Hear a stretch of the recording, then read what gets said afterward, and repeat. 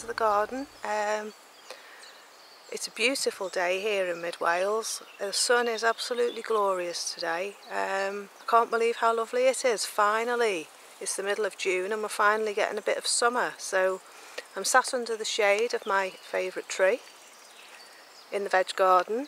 Um, I thought I would come out and show you the hens and because it's such a glorious day I thought I would do a garden tour for you and show you around my garden.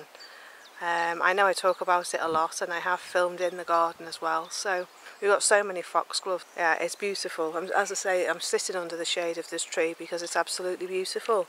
Um, there's a lot of banging at the back because the gentleman's sorting out the beehives. I'm not sure. I may have to run at some point because I think some of the bees may be about to swarm and they tend to come over the garden when they do and go up into the trees behind me. So uh, if I have to run, then you know why. But uh, at the moment, everything seems quite calm. They came on Saturday or Sunday. I think it was Sunday when we came back from church and I came and looked out the window and there was uh, lots of bees flying around the flowers so I think that's where they came from.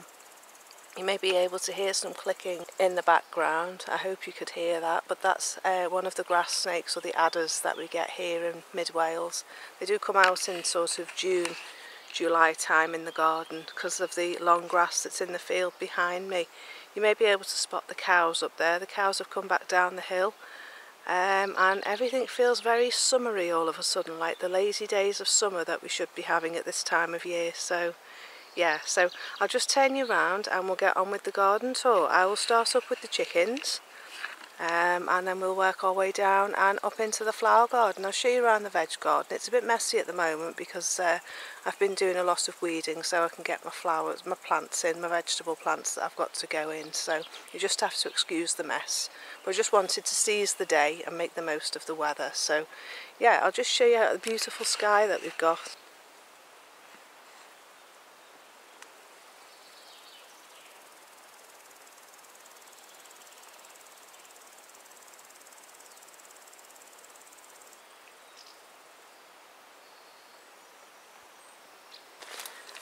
Yeah we'll start off at the potting shed and next door next door to that is the uh, chickens.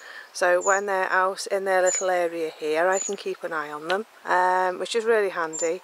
And also when I'm down the path down the other end of the garden by the house I can see them because this area here is seen from down by the house. Um, and the chickens are allowed out in all this bit here. I've got a fence up there and it's quite high and that's just because the new hens have just moved in and I don't want them getting too adventurous around the garden and going off into the fields beyond because I'll never get them back. And also there's um, there's a fox that used to live in those trees there and I don't know if he's still there so I don't want to take the chance. So I just keep them in a small area where I can keep an eye on them until I get their little tunnels built which is going to come in a video on my other channel. Here's the hens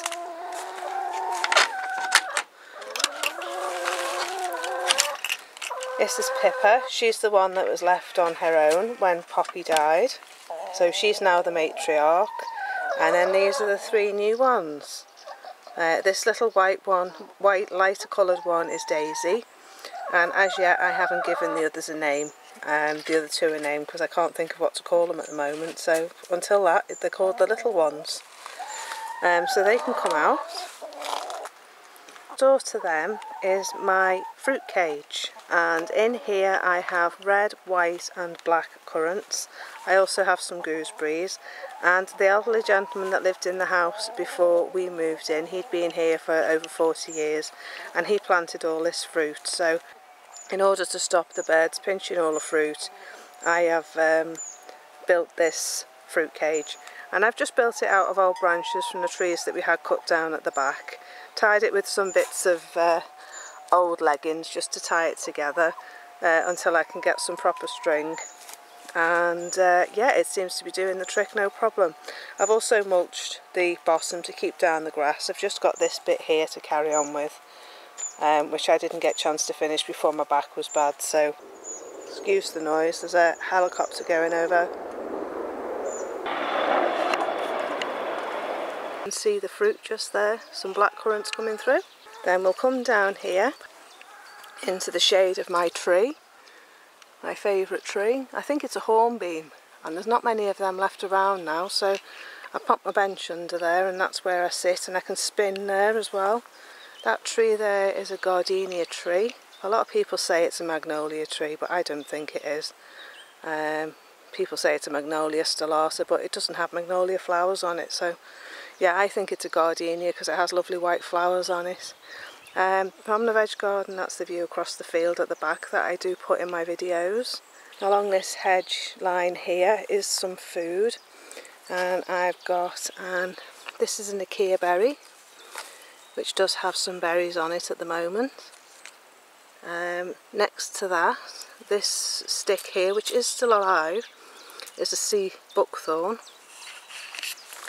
and then further along there's a rather sad looking black elderflower so I think I need to take that out and give it a drink. Then here is a rather sad looking gooseberry bush and then along again goji berry and a goji berry. So this is what I'm, I call my fedge, my food hedge. And then here is my veg bed which goes from the polytunnel. I've got rhubarb all along the back, along, all the way to the greenhouse. And then here I've got strawberries. There is some fruit and some flowers in there somewhere, but they've got really overgrown. So they do need thinning out. This is where my food's going that I've bought to go in. It's just a bit hot at the moment, so I'm going to do it later on when the sun disappears around the trees. This is beautiful. This is a parsley.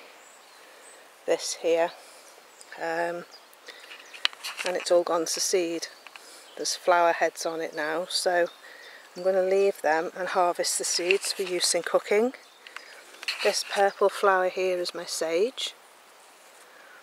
Um, and then along here, this is my rosemary. It had beautiful blue flowers on it in the spring.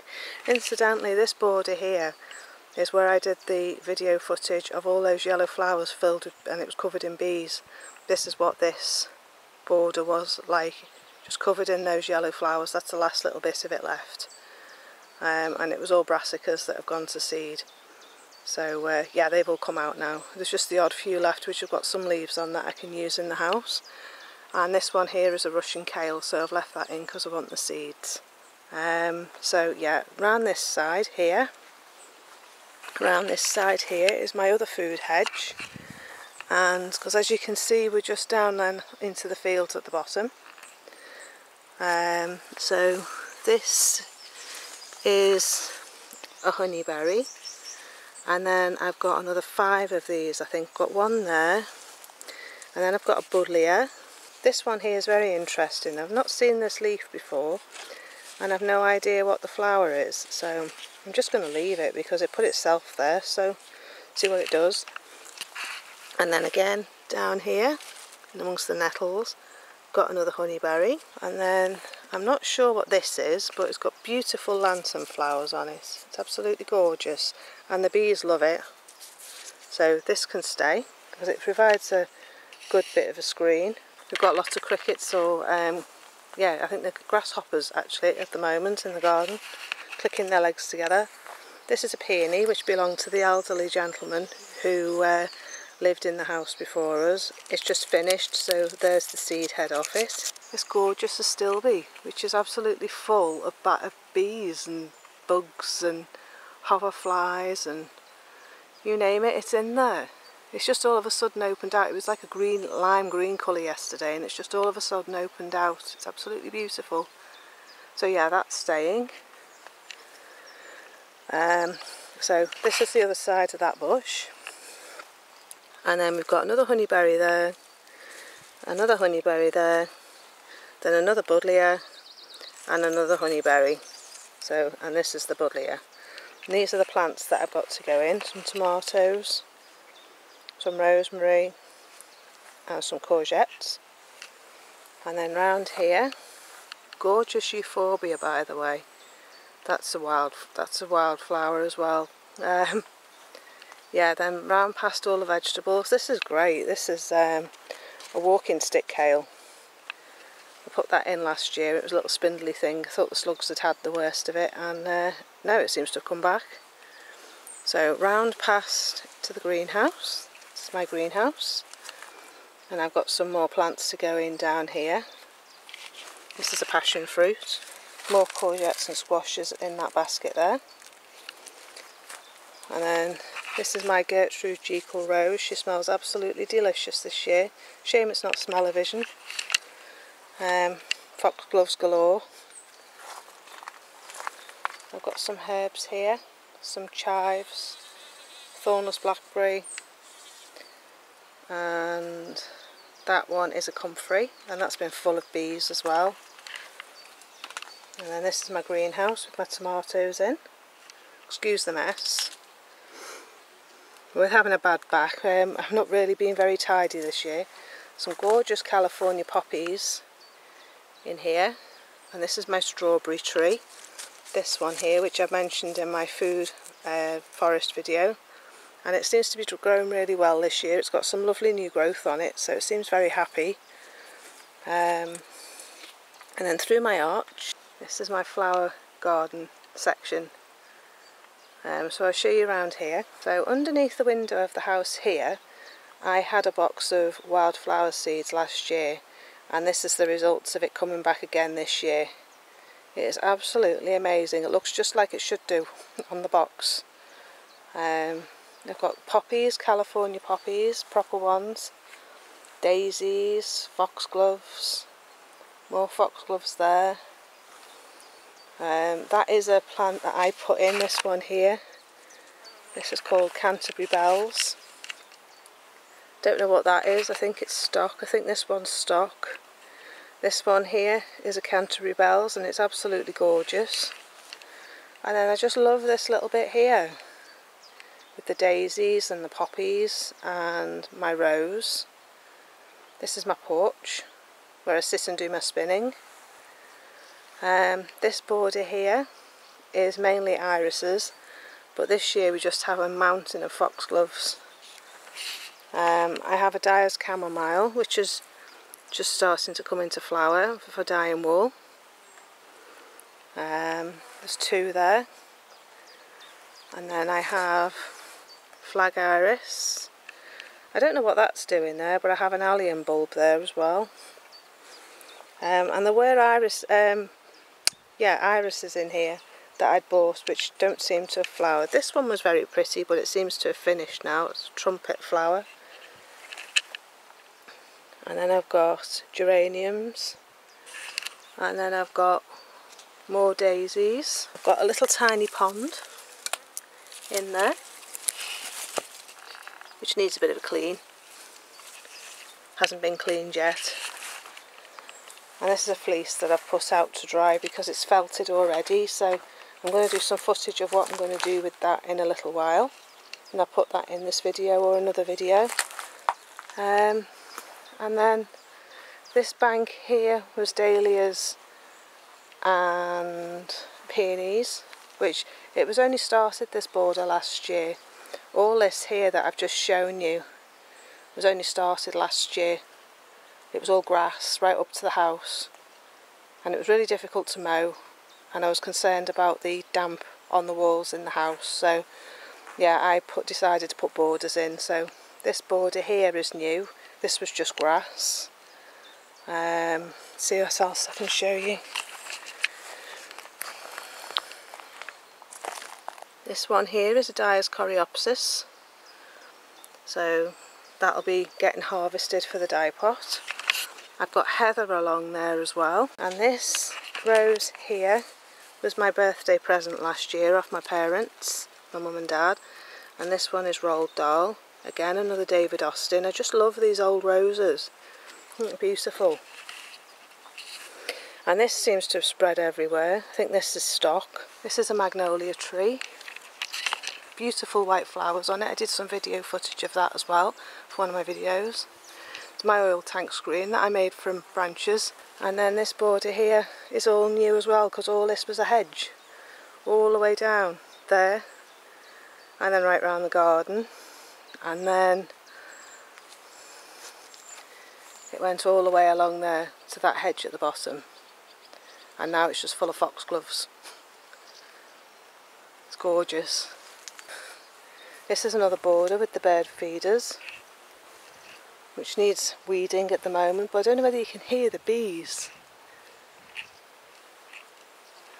This gorgeous white hedge here is my Deutzia, and it's full of honeybees at the moment. It looks gorgeous. And I've got spirea next to that. And then again, just loads of foxgloves where the hedge was taken out. This yellow daisy here, I'm going to try in the dye pot, this one. I think that was a Morrison's plant for about a pound. More foxgloves. And then these are really strange. These, these here, these are marigolds. And uh, they were from last year. And they're just supposed to be annuals. And if I deadhead them, I'm sure I'll get more flowers to take the seed heads off. And yes, you can use them in the dye pot as well. So I'm going to take all the seed heads off them, just leave them on the ground. This is beautiful. And then this is my new perennial border here, which I showed you in my last video. Again, masses of foxgloves, there's that lupin. And then this is the path up to the um, shed, a new shed, well renovated shed and then I've got more more Dyer's Coreopsis here just coming into flower. I've got Achillea which brings in the bees which is good for my vegetables. More geranium. And then this is my patch of uh, phlox which I'm just waiting for the flowers to come. And this lovely yellow flower here is beautiful. I do have uh, euphorbia and rudbeckia in here somewhere as well. There's also asters. So yeah, then we come round again. This is that azalea that was in flower that's finished. That's another azalea. And then we're at the potting shed and the chickens again. This is that camellia. And then this is another gateway with another rose and a clematis on it and then this takes you to the top garden. This is a clematis which I put in last year, again a Morrison's plant from the supermarket and then this side here I have my dad's rose which we're not sure if this is Dublin or Ruby um, for their Ruby wedding anniversary which I bought them when they were in their other house. This is where little Poppy's buried and this is the beginning of uh, my food forest which I talk about in my first video that I put up on YouTube.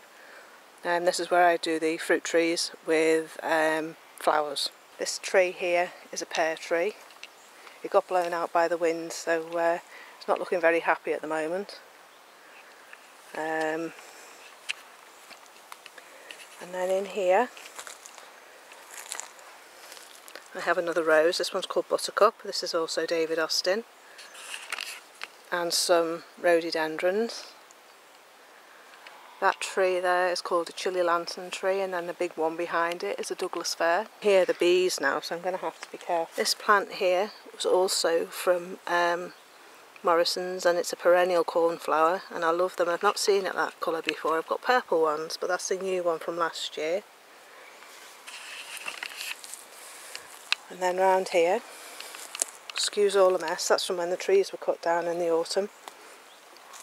This is my little woodland border, which has got um, hostas, rhododendrons, and a few other bits and bobs in there that I didn't know where to put, in, put them.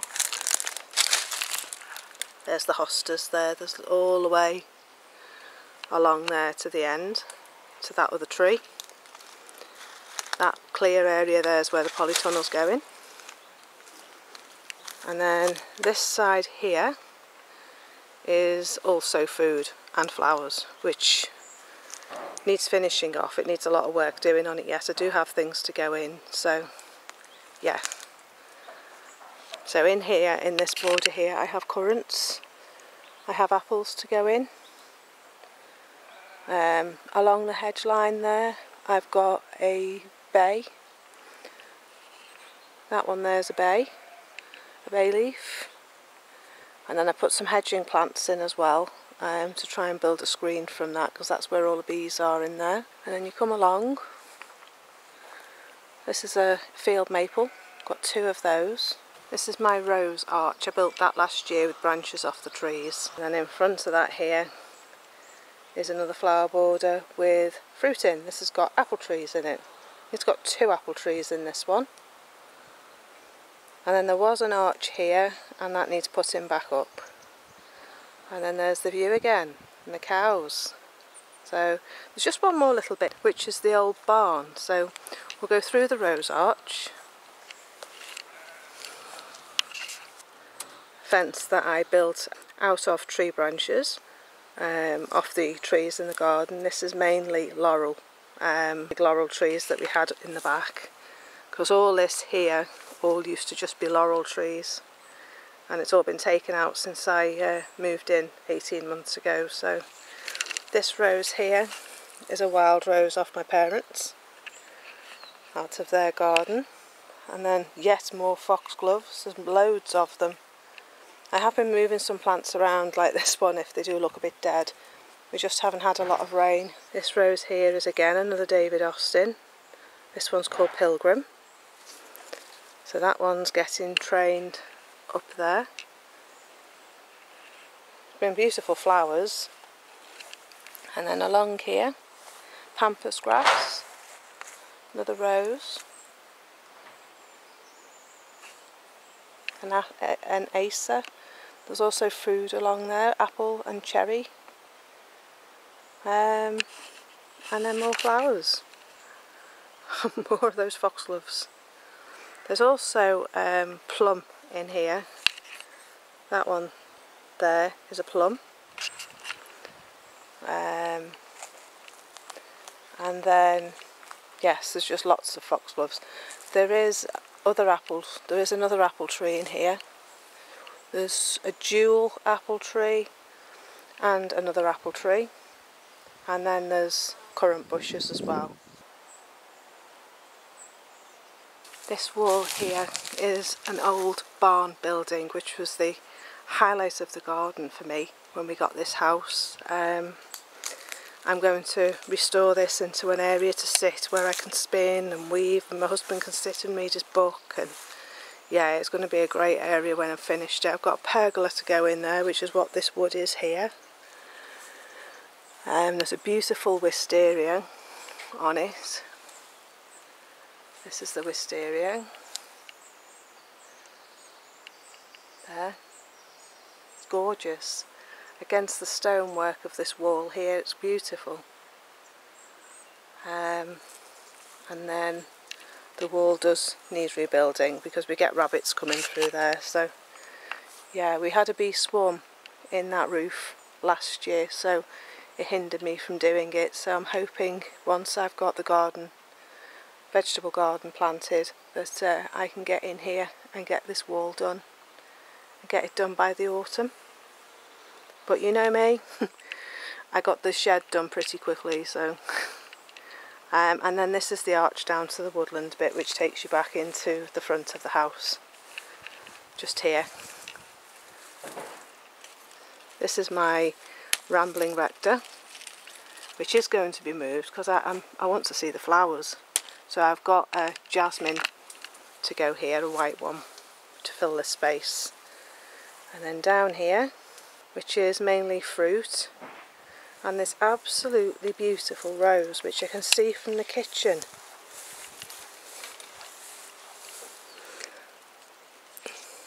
Look at that flower. It's been gorgeous. It's been flowering now for about three weeks. Look at that. and then all the way along there again it's foxgloves and then that's back down to the garden to the view.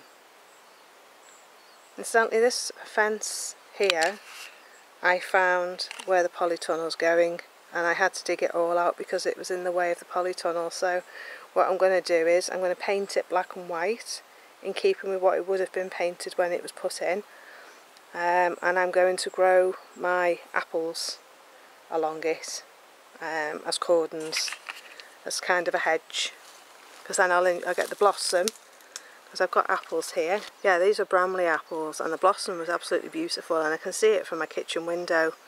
Um, so what I thought was along this fence here I would uh, grow these fruit trees. I've got one, two, three, four, I've got five trees along this fence. So I thought that that would be a good way to do it. And if I need to get any more height, I can always add it to the fence post. So yeah. I've also got roses along here. This is what I call my rose walk. I've got that yellow one that I've just shown you. I've got one here that I found in the veg garden. And then I've got currant bushes.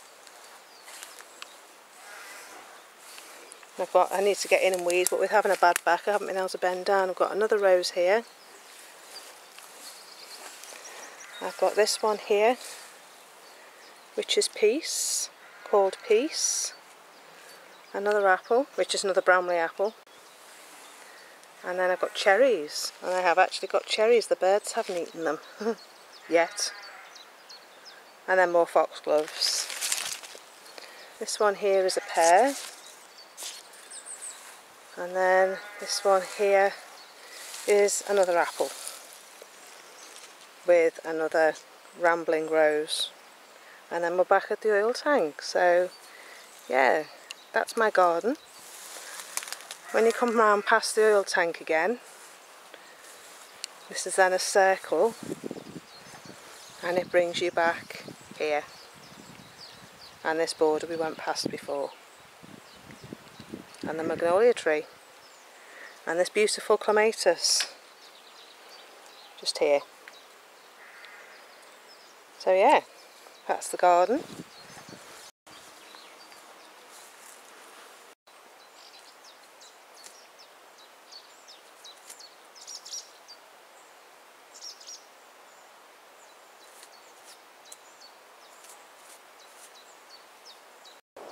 Right, okay, so that was the tour of the garden. Um, I've come back down now into the vegetable garden under the shade of the tree because it's gone really really warm.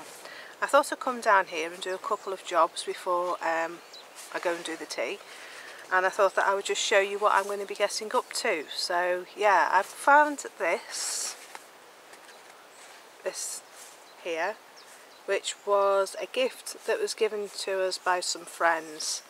Um, a couple of years ago, about three years ago now, and I've not known what to do with it.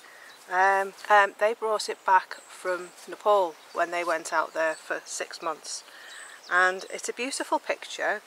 Um, don't know whether you can see the little farmer going back into his house. And it was actually done by somebody that they met when they were out there. So yeah they had they actually thought of us when they were there so that was really nice so yeah, it's quite special. So I thought that I would try and do something with it and either pop it up in the house or pop it up in the shed so that we can see it when we sit in there. Um, so what I've got is, I've got some driftwood here and I thought that I would pop one on the top and one on the bottom um, and then pop a piece of string on it and uh, pop it up in the house because I, I quite like the arc on that one um, and it takes it away from the actual thing itself so yeah so I thought that would be quite nice. So what I've got is I've got some strong thread and a needle so I'm going to put a few stitches through um, and attach the driftwood to the picture and then pop it up on the wall so that's one of the things that I've got um, and I've got some footage for you of a Hebridean rug that a, fleece that uh, I found in my stash in the garage and I thought that I would make it into a rug or a seat pad for the shed. Um, it'll do for the shed in the summer and then maybe in the winter it can come into the house. So I was going to pop it on Etsy but I rather like it and I'm terrible really. I get all these things and then I just don't want to part with them and they never end up going in my shop and I end up having them in my house. So what I thought was that was what I'd do with this. So this is the fleece and I've got some footage of you of what I want to do which I'll just insert here now. This is the Hebridean rug that I found in the garage that I posted on Instagram. Um, it's a felted rug that's come off the sheep felted. Um, it's got some beautiful colours in it and I thought that I would do it for the shed for the floor. It's got a hole in it and that really is the only hole. There's a few here at the sides so what I thought I would do is sew up the holes and that way I can then pop it in the washing machine on a slow spin and try and get it to felt together a little bit more and then use it in my shed. It's a beautiful fleece. I'm just hoping it's not going to shrink too much but uh, if I put it on a five minute wash it should be okay but uh, that's the nature of the game really. I could spend time felting the back but I don't have any more of the Hebridean because I spun it up last year um, so yeah I thought I would have a go of sewing the back and then popping it in the washing machine so see how it goes. So I'll just go over to the shade and then I'll meet you back there in a minute. Right so as you can see um, the fleece does actually need a bit of repairing doing to it so there's one of the holes um, so what I thought was I would sit under the shade of the tree and stitch up the holes and then pop it in the washing machine and see how it turns out. So that's another job that I've got to do today. So uh, yeah. So thank you very much for joining me today. I hope you've enjoyed the tour around the garden.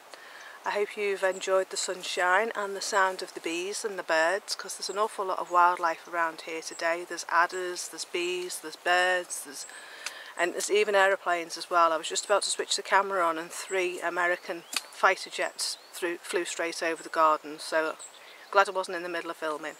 But uh, I can still hear them around in the background. So uh, I'm going to sign off now and get on with my job. So in the next video I'll show you how the picture turned out and I'll show you how the rug turned out. So I hope you're enjoying the summer sunshine. Uh, whatever you're doing I hope you've got a nice cup of coffee or tea to enjoy or whatever your preference is and uh, that you've got some crafting to do so I'm just going to go and get on with mine and I will see you next time. If you do like my videos please do like and subscribe uh, to keep up to date with what I'm getting on with here. I do do a lot of varied crafts and I'm sure that you'll find something that you enjoy uh, listening to or watching um, and I would love to see you around here. So please do leave comments in the comment section below and I will answer you as soon as I see them as soon as I uh, come across your comments. So thanks again for joining me and enjoy your weekend which is coming up now. And uh, I will see you next time. So bye for now. Bye